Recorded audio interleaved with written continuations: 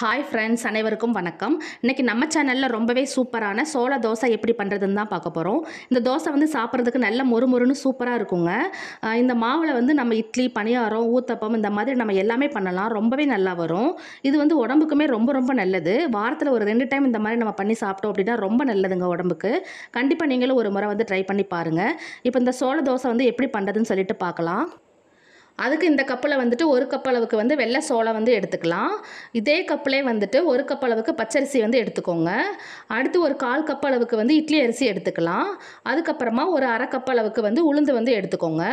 எந்த கப்பில் வந்து நம்ம அளந்து எடுக்கிறோமோ அதே கப்பிலே நம்ம வந்து எல்லா பொருட்களையுமே அளந்து எடுத்துக்கணுங்க இது கூடவே வந்துட்டு ஒரு ஸ்பூன் அளவுக்கு வெந்தயம் வந்து சேர்த்துக்கலாம்.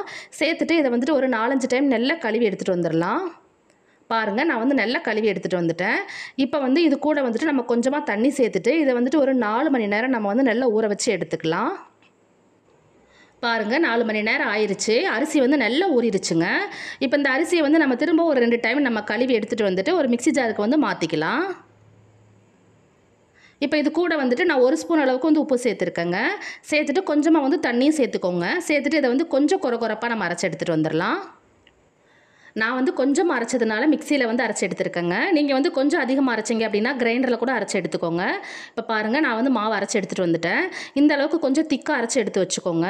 இப்போ இந்த மாவு வந்து கொஞ்சம் சூடாக இருக்குங்க. நல்லா ஆறுனதுக்கு அப்புறமா நம்ம வந்து மூடி வச்சுட்டு ஒரு அஞ்சு மணி நேரம் வந்து புளிக்க வச்சு எடுத்துக்கலாம்.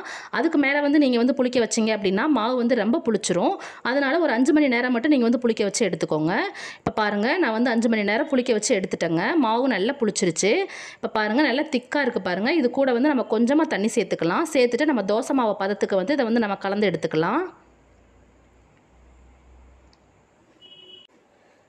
பாருங்கள் நல்லா கலந்தாச்சு.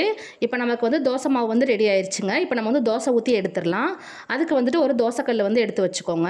கல் வந்து நல்லா சூடானதுக்கப்புறமா தோசை வந்து ஊற்றி எடுத்துடலாம். இப்போ பாருங்கள் நான் வந்து ஊற்றிட்டேன் நீங்கள் வந்து உங்களுக்கு வந்து எப்படி வேணுமோ அந்த மாதிரி நீங்கள் வந்து ஊற்றிக்கோங்க ஊத்தப்ப மாதிரி வேணும் அப்படின்னா ஊத்தப்ப மாதிரி ஊற்றிக்கோங்க இல்லை அப்படின்னா நல்லா மொறு மொறுன்னு வேணும் அப்படின்னா கொஞ்சம் லேசாக ஊற்றி எடுத்துக்கோங்க.